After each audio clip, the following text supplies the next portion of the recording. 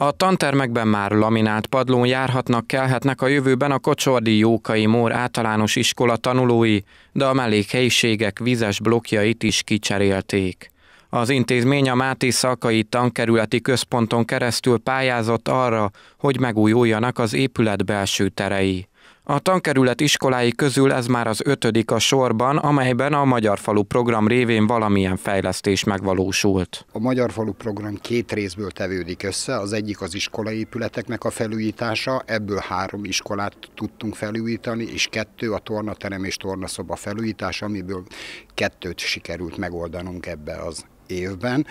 Itt jelenleg, ahol most tartózkodunk Kocsordon, itt az iskola belső tereinek a felújítása, padlóburkolatok cseréje és szükséges javításokat végezték el, több mint 19 millió forint értékbe, és a Kocsordi iskolára még a tankerületi központ is a sajnos a viharkárok miatt még rá kellett költeni újabb 18 millió forintot, mert a viharat tetőszerkezetet elvitt, és ezt is javítanunk kellett. A Kocsori iskola vezetőségének célja, hogy növekedjen a tanulói létszám.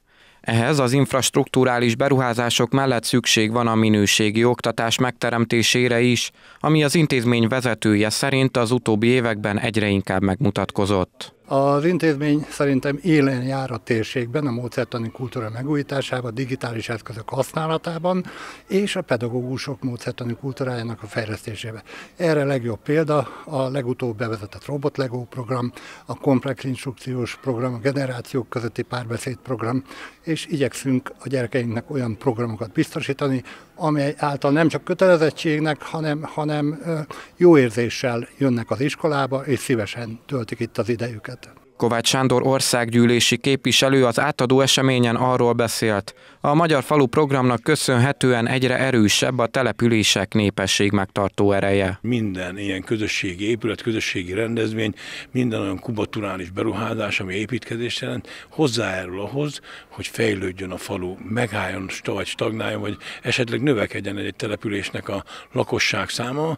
Az itt lévő fiatalok akár a ikusistergést nézem, tehát az okos okosok maradjanak, itt nem mindenkinek kell Debrecenbe, Budapestre menni, mert nagyon nagy szükség van itt is a tehetséges fiatal gyerekekre, és az ebből következő jó szű eh, menedzserekre, vállalkozásokra, vagy állami intézményeknek a vezetésére. Eh, tehát ennek az életformának, a vidéki életformának a megtartó szerepét tűzte ki célul a Magyar Falu. 2022 első felében folytatódik a Magyar Falu program iskola felújítási programja.